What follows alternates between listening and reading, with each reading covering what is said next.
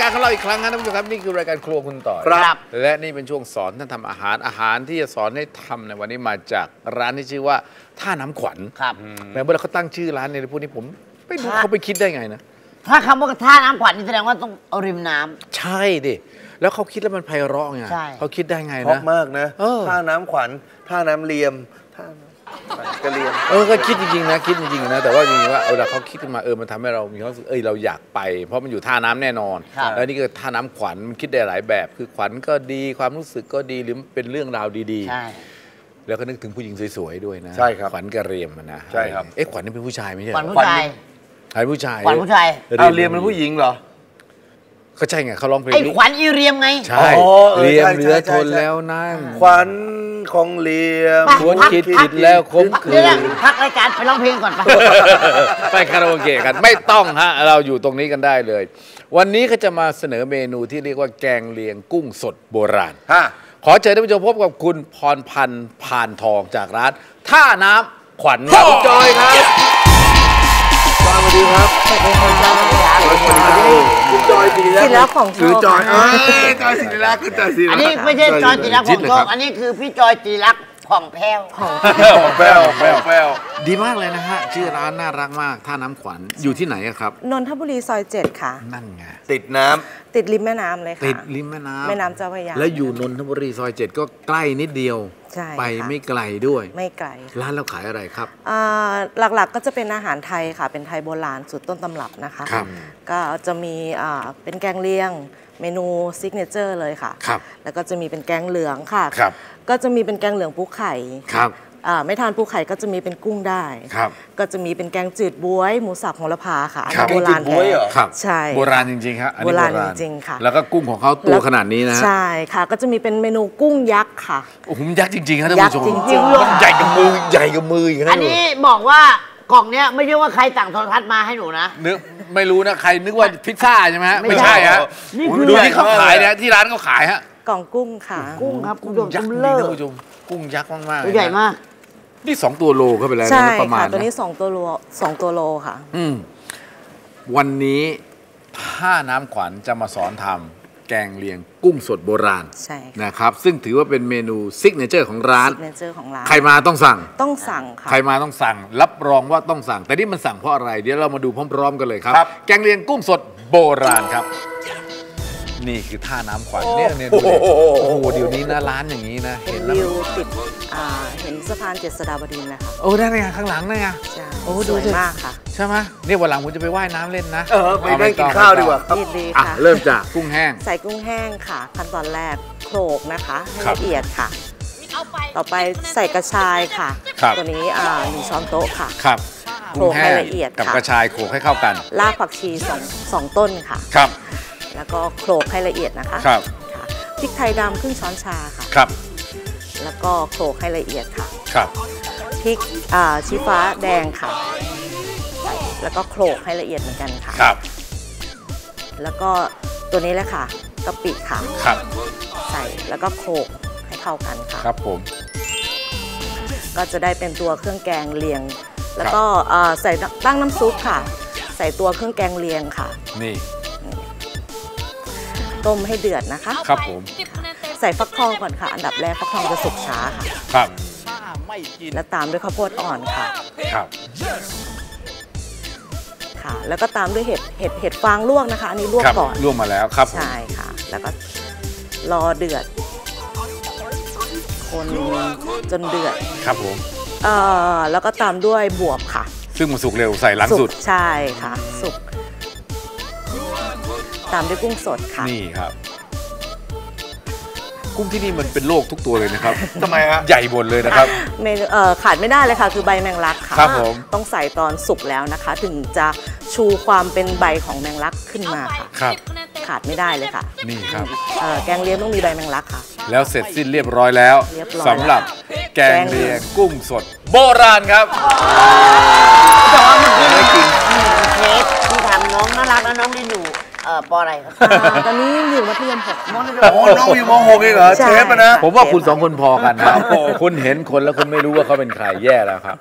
คนนั้นนะครับฮะเรียมครับ เรียมเรียมอ๋อถูกต้ท่าองครับน้ำขวัญและนั่นแหละครับนที่ทำคือเรียม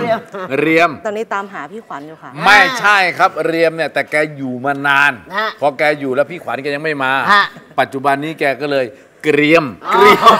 จากเรียมเป็นเกรียมเป็นเลยเกรียม คุณแม่มาคุณแมาด้วยนะฮะอยู่ตรงนี้นะฮะนี่แม่ครัวของเรานะครับและนั่นคือทีมงานทั้งหมดทุกนะคคนรับสวัสดีสวัสดีกล้องกับกล้องหน่อยครับ สวัสดีหน่อยครับขอบคุณมากคแม่รับ ครัวดั้งเดิมค่ะตั้งแต่ เปิดร้านใช่ใช่ถ้าอยากมีดั้งใหม่ให้ไปเกาหลีโอ้โหถ้าใช่ไหมอยากอันนั้นมันถ้าดั้งถ้าอเดิยากมได้ดั้งเดิมต้องมาท่าน้ำขวัญค่ะอ๋อจ้ะเครื่องแกงเลียงนี้ต้องบอกนิดนึงก่อนนะท่านผู้ชมครับมันต้องเน้นความชัดเจนมากๆฮะมันต้องเน้นเครื่องสมุนไพรถ้าท่านใส่เครื่องแกงเลียงแล้วทำแกงเลียงแล้วมันเล็ก ๆ น้อยๆนะฮะ ไม่ได้เรื่องฮะไม่ได้เรื่องจริงๆฮะต้องนี้ฮะต้องสดต้องใหม่นะฮะแล้วมันต้องหอมกระชายออกมาให้มันเห็นชัดๆ ใบแมงลักเขาบอกแล้วเมื่อสักครู่นี้นะฮะตอนหม้อเดือดนี่ยกใส่ลงไปนี่ว่ามันกลิ่นมันหอมโดดขึ้นมาเลยหอนะมครับมากกุ้งแห้งนี่มันแล้วแต่จริงๆนะฮะรวยจัดหน่อยก็เลือกกุ้งแห้งที่มันดีๆ ไม่เค็มจัดนักไม่ถ้าเค็มจัดนักก็ไปแช่น้ำซะก่อนนะครับ ไปแช่นานๆเลยนะฮะลวกแล้วมันจะได้น้ำร้อนหายความเค็มลวกน้ำร้อนก่อนนะฮะนั่นนะฮะแล้วก็ลดความค่อยเอามาเค็ทำนะครับตอนนี้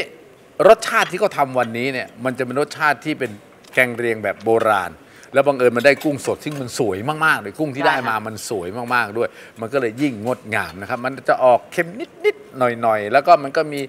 ความรู้สึกที่มีกะปิอะฮะมันจะส่งส่งความรู้สึกให้ได้อย่างชัดเจนทีเดียว คุณออสเชิญครับอร่อย ของสูตรสูตรที่ร้านนะคะ จะไม่ใส่เครื่องปรุงเลยค่ะ ตัวนี้จะได้ความหวานจากผัก ใช่ ความเผ็ดร้อนจากอ่ากระชายแล้วก็ตัวพริกไทยค่ะ ครับ คือฟักทองทำงานได้ดีมากนะคุณผู้ชมครับ มันมีความหวานของมันร้อยเปอร์เซ็นต์เต็ม แล้วกลิ่นแกงเลียงมีความเผ็ดเล็ก ๆ ให้เราแบบรู้สึกว่า แล้วมันดีมันตรงมันหอมมาก แล้วตักตัวน้ำเขานะจะเจอเครื่องเครื่องทั้งหมดอะอยู่ในนั้นหมดเลยครับสดชื่นใจเหมือนกัน อร่อย ครับคุณโก้เชิญครับเมื่อกี้ว่าบ่นพึมพำพึมพำกับผมว่าไงครับมาบ่นพึมพำเขากำลังอธิบายคุณโก้ก็บ่นพึมพำพึมพำมันคืออะไรครับ ที่บอกว่า อะ มันคืออะไร เป็นไงอืมคุณผู้ชม เมนูนี้เหมาะสำหรับช่วงนี้ด้วยนะคะช่วงไหนครับอ่าหน้าฝนค่ะ ส่วนใหญ่จะเป็นหวัด ตัวอ่ากระชายตัวพริกไทยนี่จะไล่หวัดไล่ไข้คือรสได้ชาติดีมันค่ะนัวมากคุณผู้ชม คือมันแบบ มัน มันเขาเรียกอะไรอะมันกลมกล่อมแล้วก็มันขึ้นมาอย่างที่หนูบอกเลยคุณผู้ชม น้ำมันนัว โดยที่เราเห็นแล้ว เครื่องปรุงไม่ได้เยอะน้ำมันหวานหวานจากฟักทอง ใช่ หวานจากเห็ดบวบ ที่ใส่เข้าไปหวานจากบวบโอ้โหคุณผู้ชมหนูพูดอาเมื่อกี้ที่หนูกระซิบกับอาบอกว่า ถ้าเมนูนี้นะ ตักให้หนูเนี่ย ไม่ต้องตักกุ้งมาเลย ไม่กินเลยหนูไม่กินกุ้ง ไม่กิน ใช่ ไม่กินจริงอืมๆเมนูเนี้ยหนูขอกินผักกับน้ำแบบโอ้โหคุณผู้ชมมันโดดดื่มมากแล้วอาครับ พออาชิมนี่เสร็จปุ๊บนะอาลองชิมอันนี้ ผมรู้แล้วครับ เดี๋ยวผมจะพูดทีหลัง อะเอาเรื่องนี้ก่อนว่าเป็นไงแกงเลียงกุ้งแกงเลียงกุ้งสดโบราณจากร้านท่าน้ำขวัญนัวมากถึงแซ่บถึงใจ รับไปเลยครับสิบคะแนนเต็ม สิบคะแนนเต็มสิบคะแนนเต็มนี่โดนแบบเต็มๆเลยได้ผมคือกินได้ การการหาความกลมกล่อมของรสชาติอาหารเนอะมันยากจริงนะคุณผู้ชมครับ และยิ่งกลมกล่อมที่มันมีความชัดเจนของวัตถุดิบที่ใช้ทั้งหมด มันยิ่งยากเข้าไปใหญ่เพราะคนกินอะการสปีดในการกินไม่เหมือนกัน การกินแล้วรับรสได้เลยกับการกินที่ค่อยๆรับรสแต่อันเนี้ยกินแล้วรับได้เลย เจ๋ง อันนี้เจ๋งจริง แล้วถ้าเกิดว่าไม่ชอบแกงเลียงมานี่ได้เลยครับนะฮะอะมานี่ฮะเขาอันเรียนั้นกว่า อันนั้นแกงนับถอยหลังอะไรอย่างนี้ป่ะครับนี่แกงเลี้ยงหนึ่งสองสามแกงนั้นโอ้โหห้าสี่สามสองโอ้โหไม่น่าเล่นเลยโอ้ยผิดพลาดอีกแล้ว คนเดียวเลย เป็นยังไงแกงบ๊วยอันนั้นเป็นยังไง ต้มจืดต้มจืดบวยโหระพามาเอาช้อนมาขออดินุญาตครับมาดิมาดิเข้ามาเดินมาเลเกรยงใจจังเลยอะครับอ่าคุณจอยศิริรักษ์ก็ยืนถ้าไม่ยู่ชอบอย่างนี้ไม่เป็นไรอะมาเจอไอ้ลงแกงอันนี้บวยเจนี่ออันนี้หนูบอกเลยว่าอันเนี้ยถึงสคือลบคุณไม่เคยกินแกงจืดแบบไหนที่แบบ สดชื่นถึงสิบสลคะแนนเต็มสิบคะแนนยังเต็มยังยังยังแล้วของหนูเฮ้ยอร่อยอร่อยเนื้ออร่อยตัวนี้จะอันได้นี้รักความไก่ตลอดเลยจะได้ความหวานหอมจากบวยจ้าออกเปรี้ยวนิดนึงค่ะ แม่จอยค่ะเนี่ยหนูบอกเลยนะค่าน้ำขวัญคุณผู้ชมโอ้โหผมฝีบอกมืนะออร่อยใช่ไหมคะแกงเลียงนี่ไม่ต้องพูดแล้ว เราให้สิบคะแนนครัเต็บมมาแล้ว ชัดเจนมากๆว่าได้ไป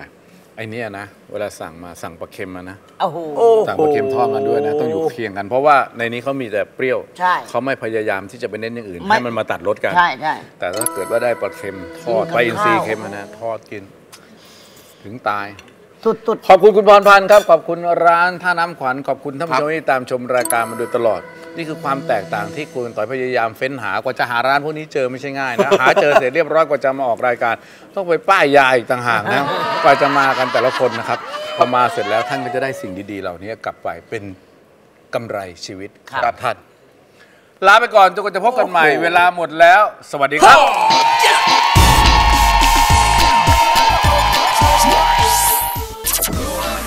เรื่องราวเกี่ยวกับ อาหารของผู้สูงอายุแนวทางการรับประทานอาหารสำหรับผู้สูงอายุที่เหมาะสมครับ โดยแบ่งเป็นตามหลักอาหารทั้งหมด5บวก1หมู่ดื่มธรรมดานี่แหละครับ วันละแปดขวดไม่ใช่วันครับ เดือนหนึ่งจักกาหลาหวังครับ กินแบบนึงอร่อยอีกแบบนึง หอมตัวสมุนไพรหมดเลยอะผมการันตีได้มันเป็นรสชาติที่ดีที่สุดตั้งแต่เคยกินมาอันหนึ่งไปลองทำดูก่อนก็ได้ถ้าไม่อยากโอ้กินยทำไม่ไหวไม่รับเลย